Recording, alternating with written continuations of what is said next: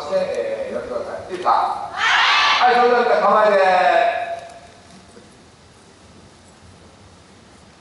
で手首肩と回してくださ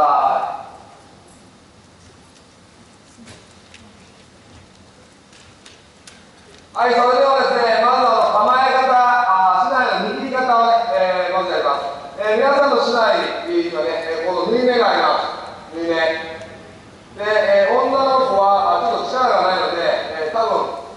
えーなるべく絞る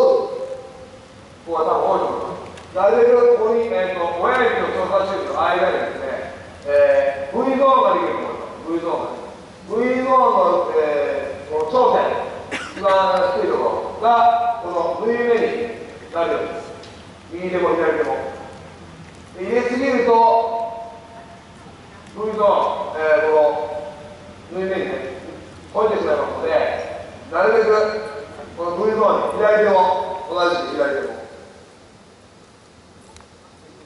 持ってもらいますで,、えーで左手構えた時に左手はお手この前、えーちょうど自分の親指のね第二関節があるとす。第二関節の延長線上はおへその前ですちょうどおへその前大体女の子の左がこう入りやすいので、えー左手は第二関節おへその前で左手右手は柔らかく伸ばしたりしてでなんでこの手の内を絞ったりいかんかというと肩に絞る肩に力が入る肩に力が入っている状態でこう素振りをすると肩が動かなくなるしっかり素振りというのは肩を使う肩をね肩を使って素振りをしてもらいますですので、えー手の内がね、えー絞りすぎてしまうと肩が疲れるね、しっかり力を抜いて肩を使ってってもらいますで、えー今構えがここでできました。でそこから振り上げる。えー、切っ先がですね、えーなるべく下がらない。構えたところから肩を上げるでその時に注意しないといけないところはこの自分の今肘ありますね肘両肘両肘がこう開かない。開かない上げた時には自分の肘は相手の方前へ向い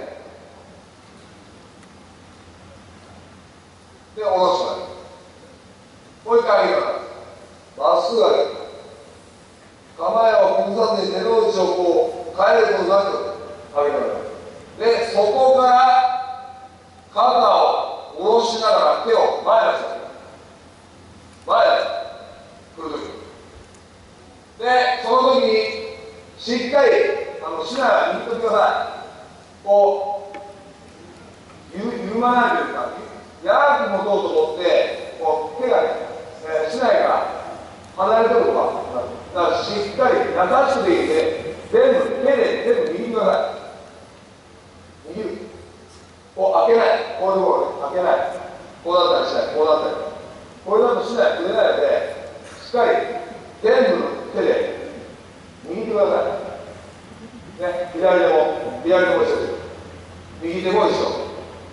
ねで今からあ両手と一緒に上げてもらって下ろすという動作があスタートしていくで上げること同時に右足を大きく大きく前へ前ですで引きつける左足を引きつけると同時に振り下ろすでここで竹刀をマーク振ろうと思うのであればこの左足を速やかに引きつける。これ左足が引きつけが遅いと竹刀の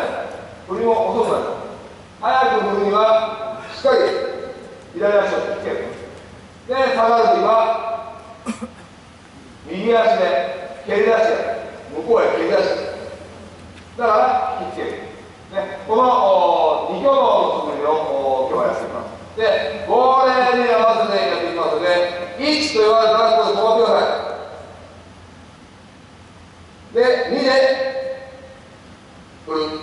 で、振った時には、ねっていう号令を振りください。いいですか？はい、構えて